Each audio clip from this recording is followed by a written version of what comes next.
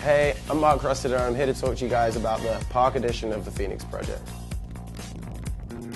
I grew up in uh, Oxford uh, in the UK and ever since I was younger it was kind of more of a boat scene in England. There wasn't that many cables but the price of riding behind a boat is really expensive so I would tend to head over to the cable and whereas mo most people would do air tricks I kind of strayed towards hitting rails and getting different feel of kickers and that's kind of landed me to where I am now and I've made it over to America and I'm now focusing mainly on park riding and rails.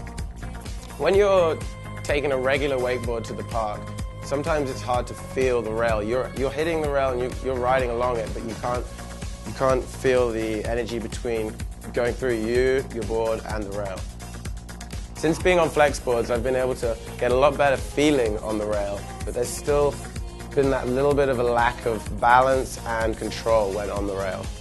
The transition from going from flex to the Phoenix project, I've noticed that with the stored energy you've got in the Phoenix project, you're able to really have a more snowboardy feel and you, you're able to generate the snap at the end of your press, whereas on other regular flex boards, you'd get to that final point of the flex and instead of it resisting you back and you being able to snap out of it, it kind of just folds over, whereas this really holds it.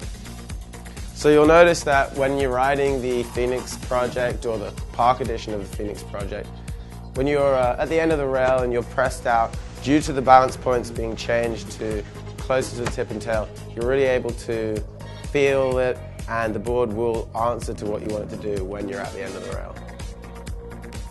With the softer layup and the centered bottom, when you ollie straight onto a rail, you'll notice that you can jump straight into a nose press. The board won't try and get away from you. It also won't grip too much on the rail and kind of hold you up. It kind of just has a nice balance in between the two. And you're able to stay pressed for longer whilst being in control. So all in all, the Park Edition of the Phoenix Project offers all the same features as the regular Phoenix Project. It just has a little bit of a softer layout. You, you'll notice that you're able to jump straight into presses and continue to balance in those presses all the way through your rail hits.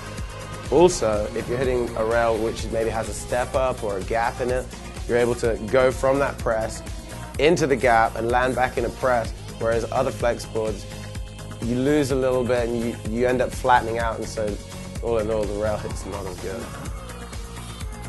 So whereas flex boards out on the market are completely flat on the base, this uh, particular board has nice channels which allow you to generate better tracking through the water on approach to hitting a rail or a kick or whatever it may be.